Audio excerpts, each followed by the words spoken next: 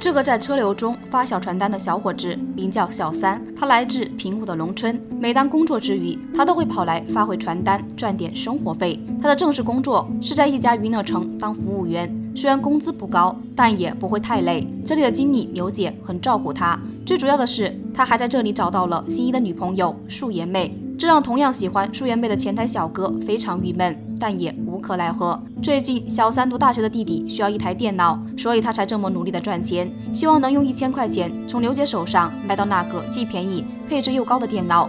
每天累死累活的小三让素颜妹看着十分心疼，也正是他这份积极向上、吃苦耐劳的性格，让素颜妹爱上了他。这天，江湖上的大佬许褚大哥带着小弟和一帮朋友过来打麻将。中途，素颜妹进来送啤酒的时候，许褚见他有几分姿色，就伸手摸了他的腰一把，还不断的用言语调戏他，逗得朋友们哈哈大笑。舒颜妹委屈的不行，一个人跑到外面悄悄落泪。小三见状上前安慰，可做的就是服务行业，这种委屈在所难免。他只恨自己没有能力给舒颜妹更好的生活，现在唯一能做的。就是许褚的房间有什么事的话，他就顶上去。许褚今天上来的手气很是不顺，不断的点炮，输了不少的钱。小弟叫了客房服务，准备再拿点啤酒来助助兴。可一看到是小三进来，那个想见到的素颜妹居然没来，许褚很生气，当即把小三赶了出去，点名让素颜妹进来。小三没办法，只好将这件事告诉了经理刘姐。得知事情的原委，刘姐也没办法改变，只能安慰素颜妹要忍耐。不得已，素颜妹只好再次走进了包间。这次又被欺负了。出来后的她哭得梨花带雨的，小三也只能干着急。以许褚的江湖地位，他们谁也得罪不起。风水轮流转，许褚的手气渐渐好了起来，很快就把几个朋友赢光，钱都输光了，牌局也就散了。许褚很高兴，给小弟分了五百，就拿钱准备买单离开。他们都没注意到，许褚在装钱的时候不小心将茶几上的钱包碰到。掉进了垃圾桶里。出门结账的时候，又看见了素颜妹。许褚色性大发，再次调戏起来。这次小三再也忍不住了，冲上去就要干他，可立马就被许褚震慑住，还被小弟揍了一顿。幸好刘姐出来的及时，许褚给了刘姐面子，这次就没跟小三计较。待许褚走后，好心的刘姐给小三上了一课：这种人得罪不起。要是想在这里长期工作下去，就必须学会忍耐。随后安排小三打扫许褚刚刚打牌的包间，小三打扫得很认真，把许褚擦鼻涕的纸巾都扫得干干净净，全部倒进了垃圾桶里。同样的，他也没注意到垃圾桶里的钱包，然后把垃圾打包好，丢进了门口的大垃圾桶里。这边，许褚和小弟吃完饭后准备买单的时候，才发现钱包忘记拿了。小弟帮忙想了一下，估计是落在娱乐城里的包间里了。他还顺便给许褚出了一个主意，就说钱包里有三千块钱，到时候让娱乐城多赔一点。两人立马掉头返回了娱乐城，在包间找了一会，结果没有找到钱包。许褚很生气，来到大厅，大声质问是谁打扫的房间。这一嗓子让所有人都害怕，没有一个人敢站出来。但纸包不住火，刘姐只好出面坦白是小三收拾的房间。许褚当即让他把钱包交出来，说钱包里有三千块钱。但小三根本没拿钱包，当然不会承认。可现在种种的迹象都表明，小三就是小偷，因为只有他进了许褚的包间。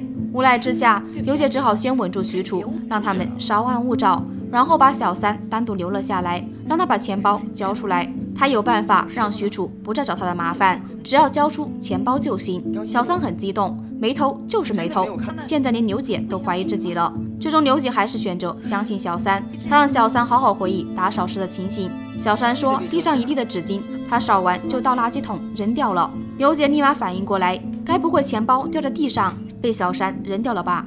两人立马去卫生间的大垃圾桶翻找，但只是找到许褚擦鼻涕的卫生纸，钱包竟然不翼而飞。这下更没法跟许褚交代了，许褚也失去了耐心，打电话叫来了三个小弟，要把小三带走。刘姐还在护着小三，希望给他时间查明真相。但许褚已经失去了耐心，该给的面子都已经给了，现在无论如何都要把小三带走。小三见情况不妙，撒腿就跑到外面拨打了幺幺零。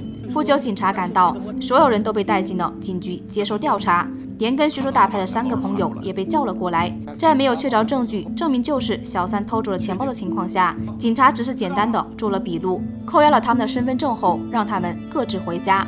但打麻将属于赌博行为，许褚和三个朋友都被罚了两千块钱，这下可让许褚丢尽了面子。不但钱包没找到，还要搭进去几千块。更主要的是，以后还要被朋友笑话，这口气他咽不下。在小三出来的时候，许褚威胁他，从今天起，他的好日子到头了。事情发展到这一步，也有刘姐一直袒护小三的原因。许褚同样威胁了刘姐，让他以后留个心眼。刘姐深知许褚的手段，当即让小三和舒颜妹收拾东西滚蛋，否则真的遭到了许褚的报应，他们谁都吃不了兜着走。就这样，因为一个钱包，两人失去了工作，身份证也被压在了警局，短时间内找工作也不太可能。又过去了几天，素颜妹终于崩溃，她大声质问小三到底有没有偷钱包，偷了的话就赶紧拿出来。谁都知道她差钱给弟弟买电脑，那个钱包怎么看都是小三偷的。小三怎么也没想到，连自己最爱的人都不相信自己，一气之下给了素颜妹一巴掌。素颜妹也没吃惊，这可是小三第一次打她，哭着跑出了出租屋。从那之后，素颜妹再也没有找过小三。小三没有工作，只有继续发小传单过生活。肚子再饿也不敢乱花一分钱，因为读大学的弟弟又打来电话，催着要买一台电脑。小三拿出了自己的所有积蓄，都是一些零钱，只有七百多块。他把零钱拿到银行兑换成了整钱，然后来到娱乐城找刘姐买电脑，却被告知刘姐已经不在这里上班，并给了他刘姐的住址。当晚，小三就找到了刘姐这里，可刘姐不在家，他只好去到天台睡了一晚。第二天一早，小三再次按响了刘姐的门铃。这次刘姐开了门，见到小三，她也很开心，热情地邀请他进来。小三这才注意到刘姐走路一瘸一拐的，脸上还有伤痕。询问之后，刘姐说自己不小心。被摩托车给撞了，并无大碍。小三心。里清楚，这明显是许褚干的，都是自己连累了刘姐。他很是过意不去，但刘姐不在意这些，只要以后安稳就行。现在他又换了一份工作，并把舒颜妹也带了过去。那个前台小哥见舒颜妹离开了，舔着个脸也跟了过去。小三这才想起舒颜妹，希望能见上一面。刘姐当然不会拒绝。第二天夜里，小三和舒颜妹在娱乐城门口终于见面。虽然两人吵了架，但心里其实都爱着对方，很快便和好如初。接下来的几天，只要有时间，两人都约着出去散步，感情也迅速升温。这天，刘姐的电脑终于寄了过来，小三很高兴，这样弟弟就有电脑可以用了。三人都很开心。刘姐今天打算包饺子吃，庆祝一下小三完成了一个小心愿。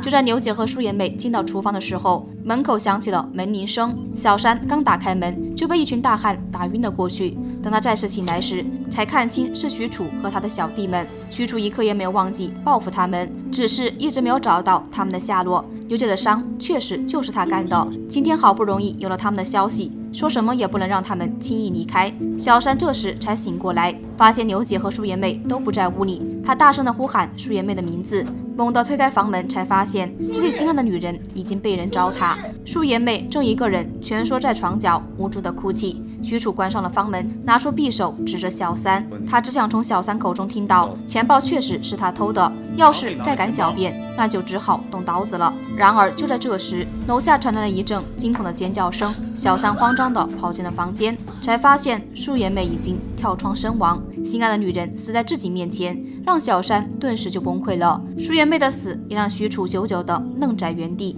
他没想到闹出了人命。小三一步步走向他，突然夺走了他手中的匕首，狠狠地刺了下去。红极一时的许褚哥就这样结束了他辉煌的一生。很快，警察带走了小三。围观的人群中，前来小哥一脸的惋惜，内心久久不能平静。那么问题来了，许褚的钱包究竟去哪里了呢？影片的最后给出了答案。前台小哥独自划着小船来到河中央，掏出了口袋里的钱包。钱包为什么在他身上呢？这还得从头说起。前台小哥其实也一直喜欢素颜妹，只可惜被小三捷足先登。他一直怀恨在心，正好那天碰到了许褚丢失钱包一案。在寻找钱包的过程中，他就已经想到钱包已经随垃圾丢出去了，于是假借上厕所的时候翻找了一下垃圾桶，果然发现了钱包。然后悄悄装进了自己的口袋里，藏了起来。